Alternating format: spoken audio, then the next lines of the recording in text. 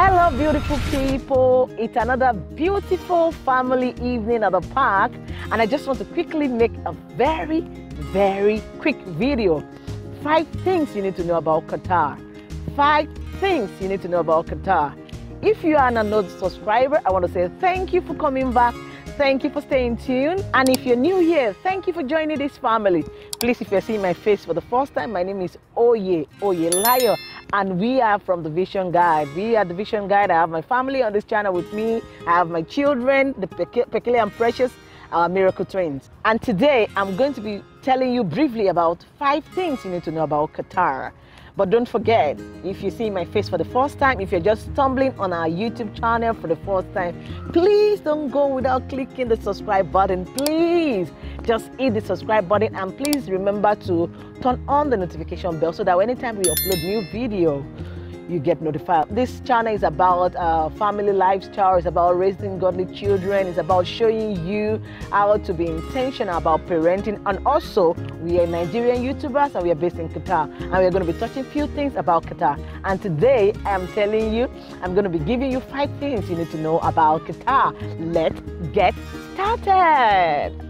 I am super excited about today's video. I'm very excited about today's video. And the number one thing I want you to know about Qatar, in case you are planning to pay a visit to Qatar or you're planning to be part of the FIFA World Cup 2022. So don't worry, these are some of the things that might be of help to you, and these are the things you might want to know about Qatar before boarding your airplane. All right, number one, Qatar is a very quiet and beautiful place. I'm telling you the truth. It's super quiet and it's super beautiful. We have so many amazing locations in Qatar, and most of these places are very quiet. Not until now that things are really picking up before the pandemic is getting, you know, we have a lot of people more, but overall, Qatar is beautiful and it's quiet. So, note that. The second thing I want you to know about Qatar is security.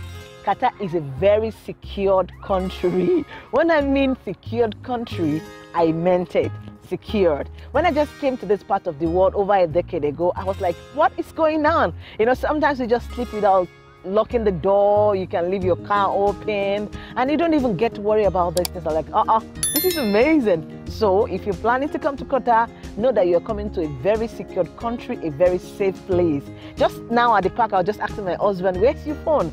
And then I realized that he left his phone at the back. We, you know, we have our mat over there, quite a distance, and just the phone is just there on the mat. You know, it's not, we're so, it's part of our subconsciousness that nobody's going to pick the phone, nobody's going to do this. It's a very secure place. So it's a very nice place to come. Get that. this third point is very important, and I really want you to keep it with you. It might sound funny, but I tell you, it's just a simple truth.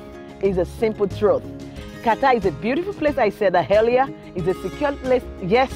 Also, it's a place that you can be a careless parent if you're not careful. How do I mean? Oh yeah, careless parent. Of course, yes.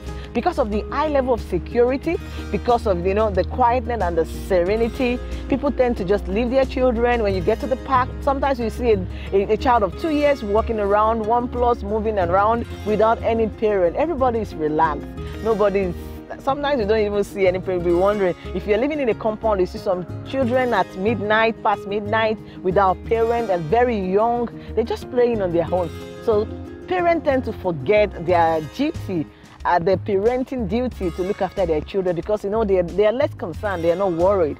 So if you are not intentional about parenting, it's very easy for a person, for a parent to be a careless one in Qatar.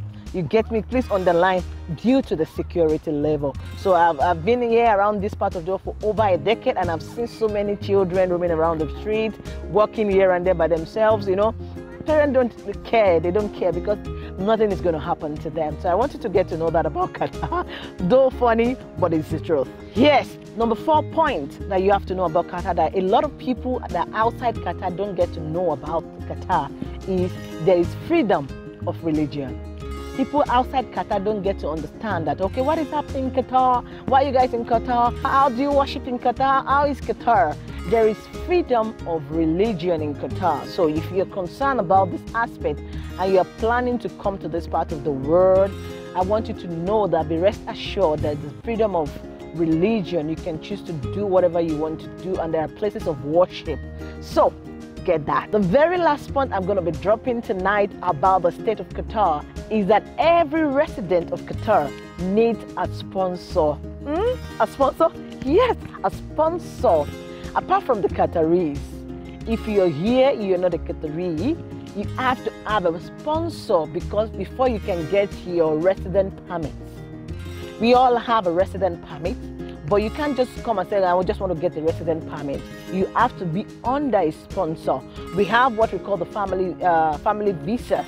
It means for family, if you are under family visa, it means the wife and the children are under the husband. If you're using a family visa, maybe you've heard about family visa before, it means the husband or the wife is going to be the sponsor.